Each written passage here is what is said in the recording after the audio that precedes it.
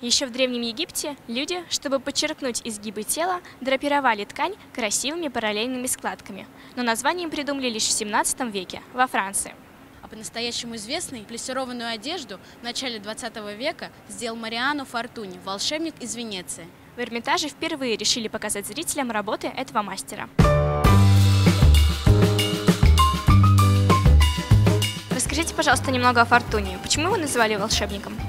А, его называли волшебником, потому что этот человек сочетал в себе а, совершенно разнообразные умения и способности. Во-первых, он был очень-очень образованным, хорошим художником.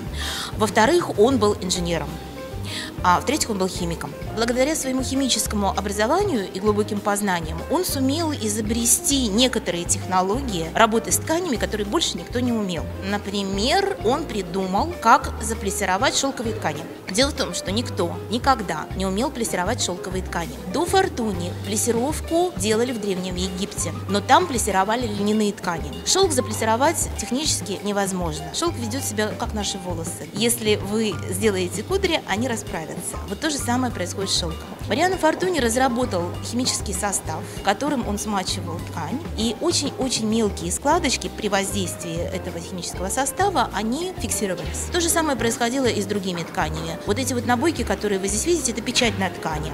Казалось бы, технически это невозможно, они не должны держаться на ткани. Но он знал, как работать с пигментами, со связующими этих пигментов так, чтобы ткани сохранялись, сохраняли свою гибкость, чтобы краска держалась, и вот поэтому он был волшебник.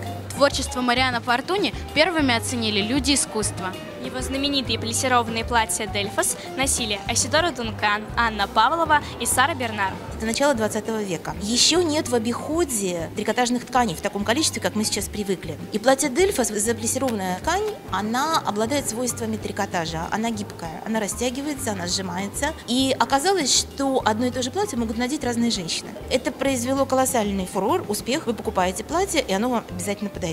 Очень много платьев и тканей с рисунком. Эти рисунки он сам делал? Да, эти рисунки он сам делал. Более того, вы можете увидеть у нас на выставке его рисунки. Проекты вот для этих самых узоров, которые мы с вами видим на тканях. Фортуни очень любили и ценили редкие антикварные вещи. Например, вот эта испано-мавританская ваза 14 века когда-то принадлежала их семье. А в 1885 году она поступила в коллекцию Эрмитажа. И сейчас ее так и называют – ваза Фортуни. В Венеции работает фабрика. Она до сих пор выпускает ткани по его технологии. Широкой публике имя Мариана Фортуни известно меньше, чем профессиональным художникам и модельерам. Просто потому, что как модная марка, они прекратили свою работу перед Второй мировой войной.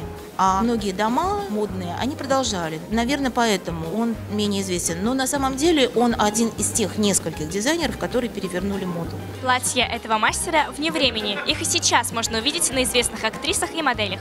С волшебным миром Мариана Фортуни познакомились Кристина Тартарян и Кристина Захарова.